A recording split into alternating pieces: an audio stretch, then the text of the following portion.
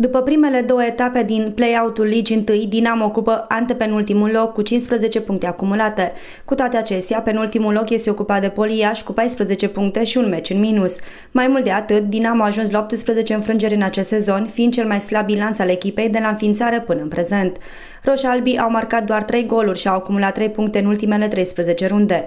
În etapa a doua din play-out-ul Ligii 1, Dinamo a fost învinsă de UTA Arad, unicul gol al întâlnirii de pe Ștefan cel Mare fi marcat de Miculescu în minutul 34. În minutul 36, Sorescu a executat un penalti obținut în urma unui fault al lui Tomozei, iar Balaur a respins balonul în corner. În urma acestui rezultat, UTA Arad a urcat pe locul 7, primul din play-out, cel puțin pentru moment, până la disputarea celorlalte meciuri din etapa curentă, având 25 de puncte.